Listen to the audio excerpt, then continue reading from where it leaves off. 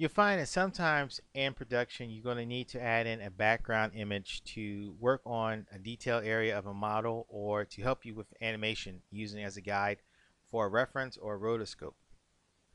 So what I'm going to do is create a figure here.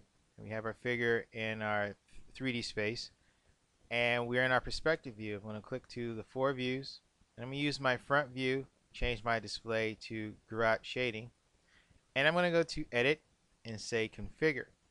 And you see now in our attributes manager we see the back already pops up and we see image is highlighted. So I can click on this, go to my desktop and grab a quick image.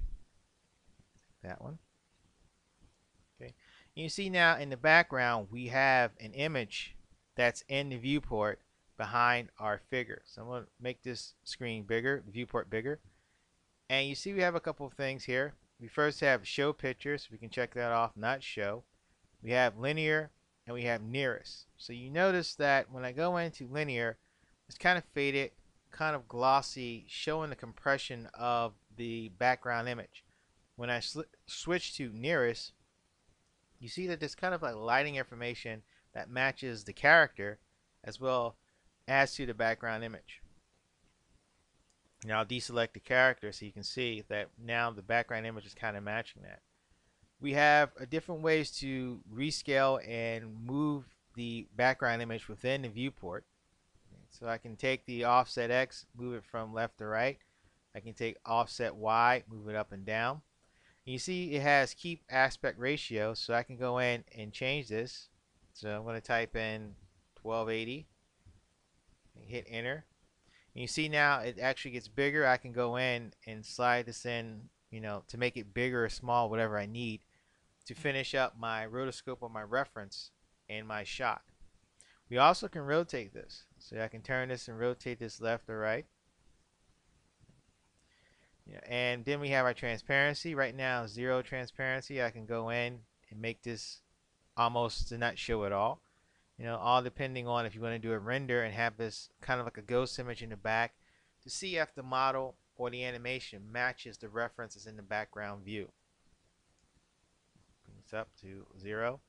And we have the alpha mode. Again we can use this as an alpha channel if we're taking a render into Photoshop so we can have it normal which it takes out the white background or inverted now this only works in the various uh, viewports. It doesn't work in perspective because we're working with three dimensions or three axes. You notice that it works more so in the front view because we still have only X and Y. So left, right, front, back, top, and bottom are perfect for adding a background image. So I'm going to make this small to bring up my four views. And I'm going to my right view now.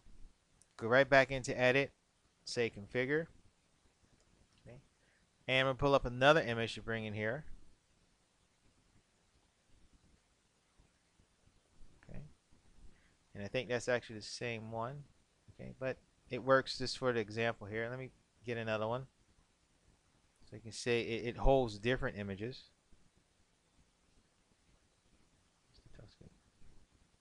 Okay, that's a Tuscan. We use that one. So you see now we have this in, and we still can control this anyway. Um, I can make it transparent, the same as the other file. And see we have two rotoscopes here. We have one to show the, the side of our character and one in the front. So again, you can use all these different views to help you with the modeling and the animation.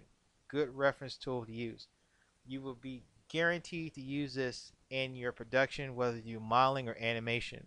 Okay, it's just a guarantee, and it's a great feature that really helps you get things accurate, so you can have accurate models with detailed sightings and good accurate animations that matches up to the rotoscope.